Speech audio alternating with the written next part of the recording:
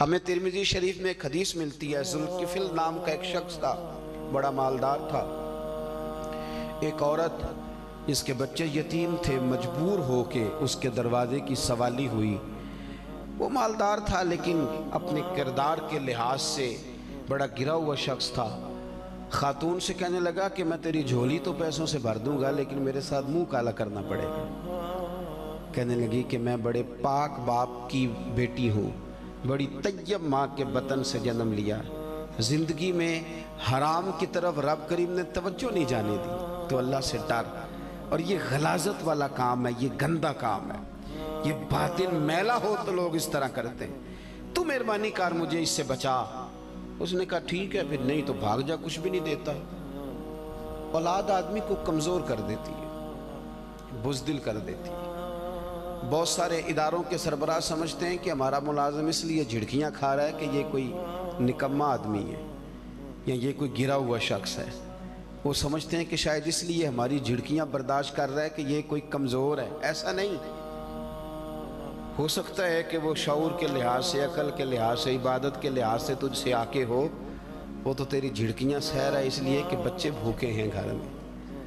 वो तो तेरी बात इसलिए बर्दाश्त कर रहा है कि बेटियों का ब्याह करना है। वो तो इसलिए सहता जा रहा है, बेचारा, कि उसे कमज़ोर कर दिया उसके घर के हालात ने।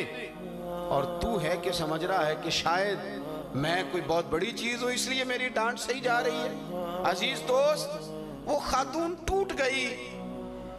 उसने कहा, कुछ नहीं देता। वापस गई तो बच्चे रो रहे थे। मजबूर होके लौट आई। आके कहने लगी, ठीक है, मैं तैयार हूँ, पर मेरे बच्चों को रोटी दे दे। जुल्किफिल कहता मैंने जब दरवाज़ा बंद किया और मैं मुँह काला करने को उस बीबी के करीब होने लगा, औरत की पाकिजगी देखना, यहाँ मैं औरत की पाकिजगी की बात कर, करीब होने लगा तो उसका वजूद कांपने लगा। वो डरी। अल्लाह करे, आप समझे मेरी बात को। एक मिसाल मैं दे चुका हूँ कि इंसान का जेन बन जाए कि गंद है, फिर वो करीब कभी जा सकता अगर जेन बना लिया जाए, जेन में तय कर लिया, ओ भाई हमारे बच्चों को तो जो तय हो जाए ना कि ये सब्ज़ी मैंने नहीं खानी तो आप जबरन खिलाएँ तो वो नहीं खाते। वो क्या कर देते हैं? आप खिला के दिखाएँ, नहीं खाते, वो कहते, नहीं खाई जाती, भाई क्या करें? मजबूरी है, जो बच्चे दूध नहीं पीते, उनकी अम्मा दस थप्पड़ भी लगा ले तो कहते हैं, मुझसे पिया जाता। जेन बन गया कि मुझे पसंद नहीं। बस इस नापाकी को नापाकी समझना शुरू करें। इस गंदगी को गंदगी समझना शुरू करें। फिर शैतान कोई भी लज्जत बना के सामने नहीं ला सकता। दरवाजे बंद करके कहते हैं, मैं खातून के करीब हुआ। वो कांपी। उसका वजूद राशा तारी हो गया जिसम पर। मैंने उस बीबी से कहा कि दरवाजे तो सारे बंद हैं। तू काहे को डर रही है? तो वो कहने लगी, नहीं एक दरवाज़ा है जो बंद हो ही नहीं सकता। कहा, वो कौन सा दरवाज़ा है? कहने लगी, वो मेरे रब करीम का दरवाज़ा है, जो खुला रहता है, जो बंद नहीं होता। वो देख रहा है। वो शख्स कहता है, क्या उस औरत की पाकिजगी और उसके जुमलों का खुलूस था? क्या उन लफ्ज़ों में तासीर का नूर था कि मेरे सीने में उतर गया? मैंने कहा, तू औरत हो के रब से इतना डरती है। तो मैं तो अल्लाह ने मुझे मर्द बनाया है, तुझ पर फजीलत दी है। दरवाज़ा खोल के कहा, जा तू आज़ाद है। और फिर सर सजदे में रखा, तौबा करके कहा, मालिक, पिछले माफ़ कर दे। तू दिलों के हाल जानता है। आइंदा ये काम नहीं करूँगा। अल्लाह बड़ा करीम है। तोबा भी कबूल हुई। और रात को ही जनाब इसराइल भी आ गए। रूह भी परवाज कर गई। सवेरे लोग जनाजा तक पढ़ने को तैयार नहीं थे।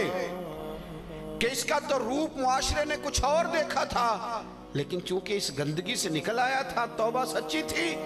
तिरमिसी में मौजूद है कि सुबह उसके दरवाजे पर लिखा हुआ था, लोगों, रब करीम ने किफुल की बख्शिश फरमा दी है। तो अपने अपने मिजाज में जहन के अंदर आप इस बात को लें ये तो बात थी ना,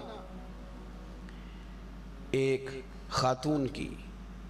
मैंने ज़ाती तौर पर ज़ाती तौर पर मैंने ज़माना देखा है, मदरसे का भी, कॉलेज का भी। फिर मुझे मौका मिला थोड़ा सा दुनिया देखने का भी। मैंने बड़े पाकिज़ा फितरत जवान देखे, बड़े तैयब मिजाज जवान देखे। कोई ऐसी मायूसी नहीं है। मैंने बड़े बड़े साफ़ सुथरे फ़िक्र साफ़, नज़र साफ़, नज़रिया साफ़, सोच साफ़, ऐसे सुथरे लोग मैंने देखे हैं। जब वो साफ़ सुथरे थे, फिर अल्लाह ने उनसे काम लिया। उनकी नज़र साफ़ थी तो ज़ुबान भी साफ़ थी। उनकी नज़र, जहन, मिजाज साफ़ था तो उनके कलम से जो चीज़ें निकली वो शाहकार थी। उन्होंने कमाल लिखा, कमाल कहा, कमाल बोला। इनकलाब आ गया उन लोगों की वजह से। बहुत सारे लोग ऐसे होते हैं। ये जो तैयब साफ़ सुथरे लोग होते हैं ना, ये कभी गंदगी की तरफ़ जा सकते हैं। वो तो कोई गंदी मक्खी होती है जो गंदगी पे बैठती है। आप देखें ना, जिस मक्खी के मिजाज में गंदगी है ना, आपका सारा जिसम छोड़ छोड़ देगी, जहाँ पीप है, रेशा है, वहाँ जाकर बैठ जाएगी। सारा जिसम छोड़ देगी। क्योंकि मिजाज में गंदगी है ना, एक मक्खी वो भी है, जो सारा शहर ढूंढती है, पर बैठती फूल पे ही है। बैठती फूल पे है। लेकिन जब उठ के कहीं और जाती है, अपने मस्कन में जाती है तो फिर वहाँ वो शहद छोड़ दिया, जिसमें मेरे रब ने शिफा रखी हुई। आपके मिजाज में जब सफ़ाई आएगी, एक हदीस पाक है, इसको आपने ज़रूर जेन में रखना है। पहले तो मुझे नहीं पता था, क्योंकि मेरा एक बड़े छोटे से घराने से ताल्लुक़ है, ज़्यादा ज़िंदगी में आसानियाँ मैसर नहीं आई। ज़्यादा मैसर नहीं आई तो फिर ज़्यादा की आदत भी नहीं हुई। तबीयत नहीं, एक सरसों का तेल घर में मिलता था। तो बस वो लगाने की आदत ज़रूर है, उसके अलावा कभी आसानियाँ मुयसर थी नहीं तो उनकी आदत भी कभी नहीं आई। अब मैं मदरसे में कभी कभी सुबह शहरी में किसी बच्चे को उठाने जाऊँ तो मुझे महसूस होता है कि कोई दवाई लगा के सोया है। कुछ चीज़ें हैं जो हमारे बच्चे नौजवान भी इस्तेमाल क्यों? कि वो माशरे में खूबसूरत बन के जीना चाहते हैं। ये कोई कोई इतनी बुरी ख्वाहिश नहीं है। आपका अच्छा लगना साफ़ सुथरा लगना, नबी पाक सलाम ने एक शख्स के बाल बिखरे हुए देखे थे तो फरमाया कि इनका हक भी अदा करो, कंगा किया करो। ये कोई बुरी चीज़ नहीं। लेकिन ये याद रखें कि जाहिरी बनावट और चीज़ होती है। और एक आपके अंदर का हुसन होता है जो छलक के बाहर आ जाता है। आपके अंदर भी एक नौरानियत पाई जाती है। वो उसके लिए क्रीम की ज़रूरत नहीं होती, अच्छे शैम्पू की ज़रूरत नहीं होती। उसके लिए आपको कोई एक घंटा आईने के सामने खड़े रह के उसकी मिन्नत नहीं करनी पड़ती कि बोल देना झूठ के मैं प्यारा लग रहा हूँ। कुछ नहीं करना पड़ता, बल्कि आपका अंदर साफ़ सुथरा हो तो चेहरा खुद ब खुद नूर बरसाना शुरू कर देता है। हदीस पाक मौजूद है। नबी पाक सल्लल्लाहु अलैहि वसल्लम ने फरमाया, अपनी नज़र साफ़ रखो। ये हदीस याद रखे, नौजवान याद रखे।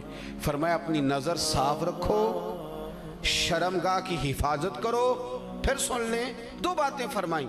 फरमाया, नज़र को साफ़ रखो शर्मगाह की हिफाजत करो, वरना अल्लाह तुम्हारे चेहरों की रोशनी ले जाएगा। तुम्हारे चेहरों का नूर चला जाएगा। तुम अपनी नज़र साफ़ कर लो, शर्मगाह की हिफाजत कर लो। माना क्या है? अल्लाह तुम्हारे चेहरे पर अपने फजल से नूर पैदा फरमा देगा फजल से नूर पैदा कर देगा। आप समझ जाएँ इस बात को कि जब आपकी नज़र साफ़ हो, तबीयत साफ़ हो, मिजाज साफ़ हो, हमारे यहाँ बदकारी के, बेहयाई के, जो आदाद शुमार बताए जाते हैं, वो इतने शर्मनाक हैं कि वो बयान करते हुए भी तकलीफ़ होती है। हमारे यहाँ जो रंग है, चले, बहुत सारी कौमें, बहुत सारी काम करती हैं, लेकिन जो हाल मीडिया का, सोशल मीडिया का, टिकटॉक का, फलां का फलां का हमारी मिलत के जवानों ने किया है, ये अंदाज तो महजब कौमों का होता ही नहीं। संजीदा फ़िक्र लोग तो इस तरह ज़िंदगी नहीं गुजारते। साफ़ सुथरी तैयब ज़िंदगी। उसके अंदर इंसान पर बोझ बने, ज़रा सा भी गुनाह गलात ज़रा सा भी। मिसकी नाम के एक बुज़ुर्ग थे, हज़रत अब्दुल्ला याफ़ी ने इसको लिखा है। उनके वजूद से खुशबू बड़ी आती थी। लोग अक्सर सवाल करते कि आप कौन सी खुशबू इस्तेमाल करते हैं? तो सादे बुज़ुर्ग थे, कहने लगे, पुत्र, कोई भी नहीं लगाई कभी। तो लोग तशवीश में मुबतला हो गए कि ये कैसे हो सकता है? इतनी आला खुशबू है, बाबा जिधर से गुजर जाता है, खुशबुओं वाला बाबा ही मशहूर हो जाता है। तो कोई तो ऐसी चीज़ है ना, कुछ तो ऐसा है ना। इतनी सोनी खुशबू, इतना सोना हुसन।